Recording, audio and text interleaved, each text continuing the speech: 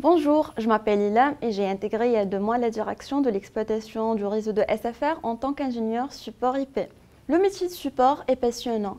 Mes principales missions consistent à apporter un support technique sur le fonctionnement des équipements, participer à la résolution des incidents en coordonnant les différents acteurs, la supervision, l'ingénierie et les constructeurs, participer euh, à l'optimisation de l'utilisation des équipements et leur intégration dans le réseau.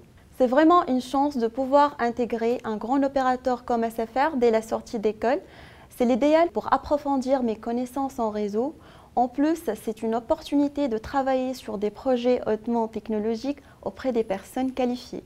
À mon arrivée, j'ai senti le soutien de mon équipe et on m'a tout de suite planifié des formations pour faciliter ma prise de poste. On me donne aussi la possibilité de proposer mes idées et de développer des solutions innovantes. Dans 5 ans, je pourrais occuper un poste d'expert, dans 10 ans, pourquoi pas un poste de management.